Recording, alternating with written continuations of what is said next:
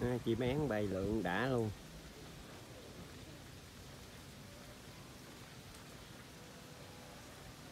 Yến ha.